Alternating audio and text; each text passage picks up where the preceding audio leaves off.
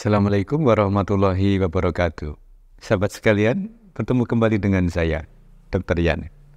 Hari ini subscriber kita, Bapak Juni Anggara, menyampaikan bahwa istrinya hamil 6 bulan, tapi ada mium dengan besar sekitar 13 cm.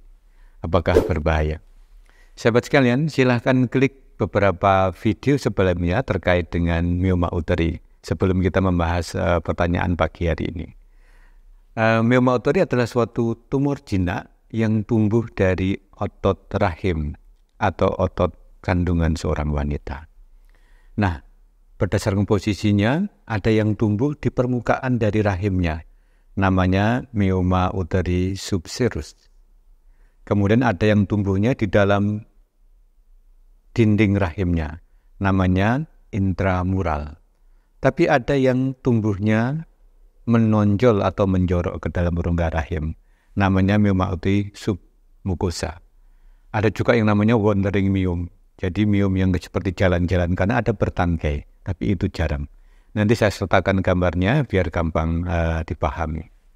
Kemudian bagaimana kalau hamil kemudian ada mioma uteri?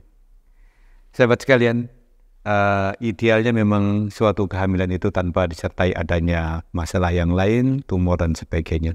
Tapi ke kenyataannya memang demikian.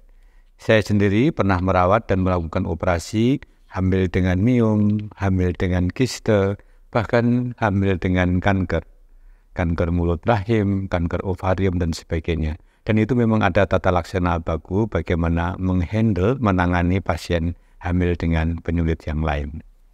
Kita kembali pada pertanyaannya, hamilnya sudah enam bulan, tapi miomnya di luar atau menempel di dinding rahim. Nah, pada posisi miom yang demikian, tanda kutip memang bisa tidak mengganggu per, uh, kehamilan. Karena tumbuhnya janin relatif tidak terganggu. Beda kalau misalnya miom itu ada di dinding rahim atau di menonjol ke rongga rahim. Sehingga mendesak ruang rongga rahim tempat janin tumbuh. Nah ini bisa mengganggu. Namun demikian ada beberapa risiko penyulit hamil dengan miom. Yaitu pertama terjadi degenerasi atau perubahan namanya degenerasi merah.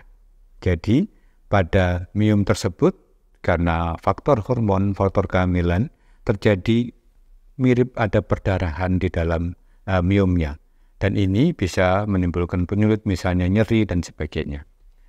Nah, masalah lain yang uh, bisa timbul misalnya pada posisi miom yang uh, yang besar adalah pada proses persalinan kita tidak bisa uh, memastikan apakah pada persalinan normal yang harusnya ada kontraksi, kontraksi itu uterus yang seperti memeras uh, sehingga uh, janin itu turun kemudian uh, lahir, itu bisa saja menjadi tidak adekuat karena adanya miom. Tapi terutama tentunya miom yang di dalam rongga rahim atau miom yang uh, di dalam otot rahim.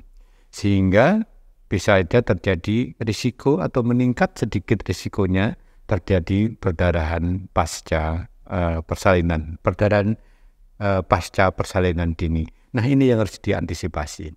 Sehingga apa yang bisa dilakukan adalah mengevaluasi bagaimana pertumbuhan miom tersebut dan mengevaluasi bagaimana pertumbuhan janinnya dan menganalisa. Oh ternyata ini nanti tidak mengganggu proses persalinan sehingga bisa persalinan uh, pervaginam atau sal, uh, persalinan normal. Tapi dengan analisis yang bertahap pada seorang dokter kandungan, oh ini tidak bisa nanti sudah tambah besar, nanti mengganggu kontraksi sehingga lebih aman kalau dilakukan operasi seksio.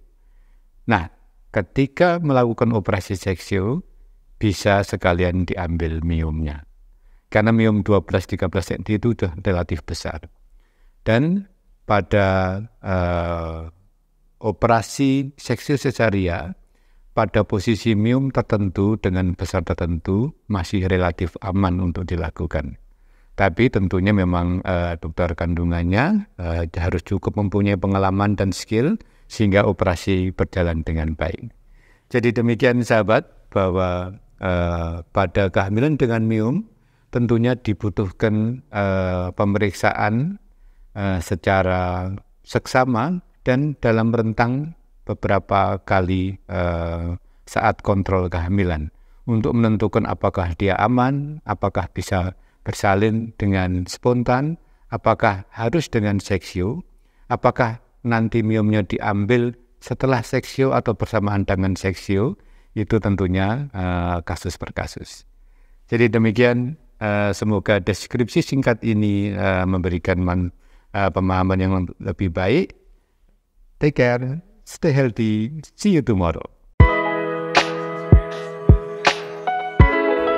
Mari dukung channel ini dengan memberikan like, share, comment, and subscribe.